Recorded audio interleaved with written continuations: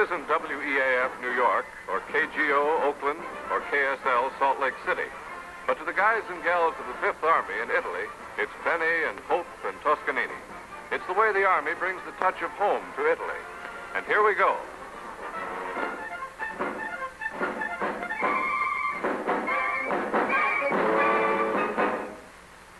This is your American Expeditionary Station in the field with the Fifth Army. A radio service for American fighting men and their allies.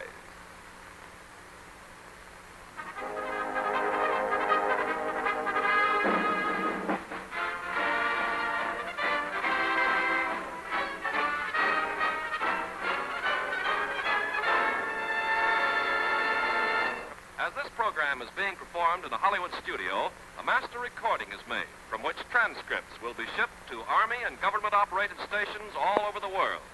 Strictly for you men overseas, no matter how small your outfit. And speaking of little things and trivia in general, here's old General Trivia in person. Your commanding officer of this command performance, your old sidekick, and Chief Scout of the Wolf Patrol, Bob Hope.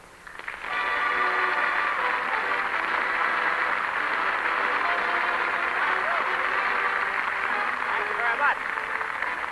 Thank you. How do you do, fellas? This is Bob. This is Bob, Command Performance Hope, telling each Nazi that's in Russia today that crime here doesn't pay.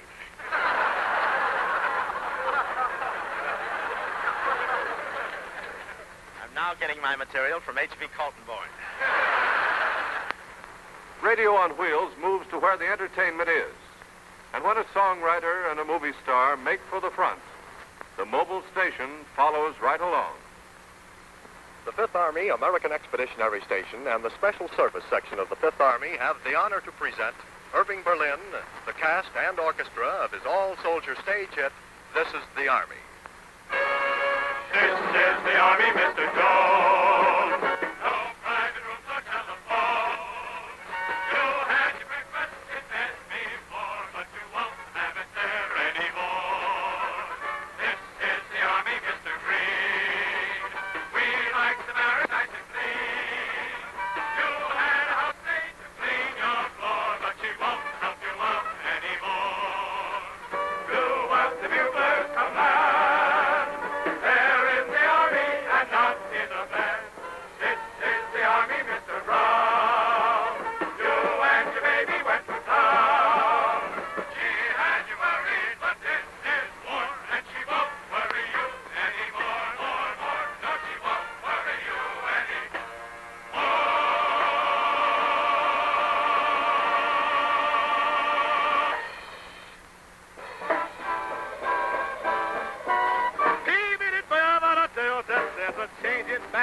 Shows in Lenox Avenue clothes.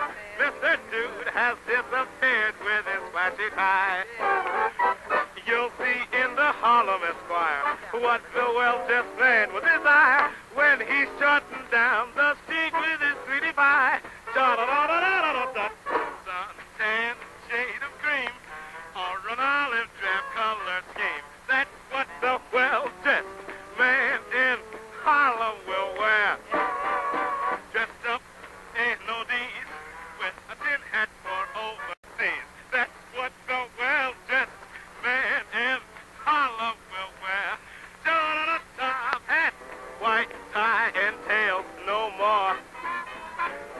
been put away till after the war.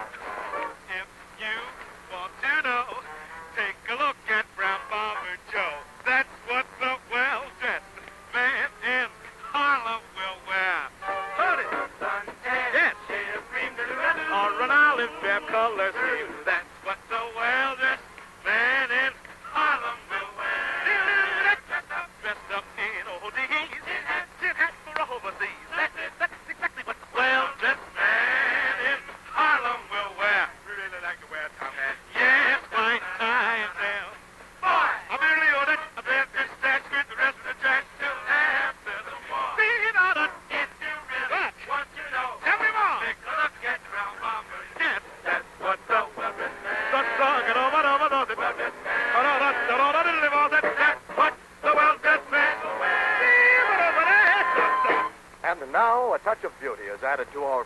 By Hollywood's lovely Marlene Dietrich. Miss Dietrich, who has just recovered from a siege of pneumonia contracted here on the Italian front, has graciously joined us here to pay her respects to the Fifth Army. Here she is, lovely Miss Dietrich. Hello, boys.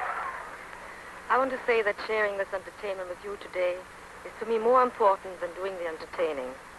I had hardly thought it possible that entertainment of such high caliber could be presented out here in the field. I wish to add my respect and admiration along with General Clark and Irving Berlin to the men and women of the Fifth Army.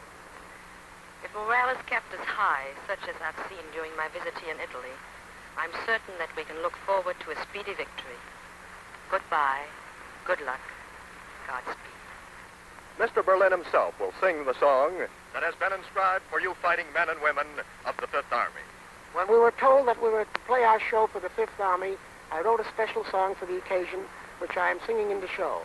Now I would like to sing The Fifth Army's Where My Heart Is, and dedicate it to you, the fighting men of the Fifth Army. I met her in America about a month ago. She asked me if I'd bring her love to a certain G.I. Joe. She said when he returns, I'll be his bride. I asked her where he was, and she replied, Not the first, not the second, not the third, not the fourth, but the fifth. Army's where my heart is. He's somewhere on a beachhead, which must be lots of fun. I can see him in a bathing suit, basking in the sun. From a cute signorina, he's been learning to talk like a real native of Rome. She's a very tasty dish, but my baby no capiche till the fifth army comes home.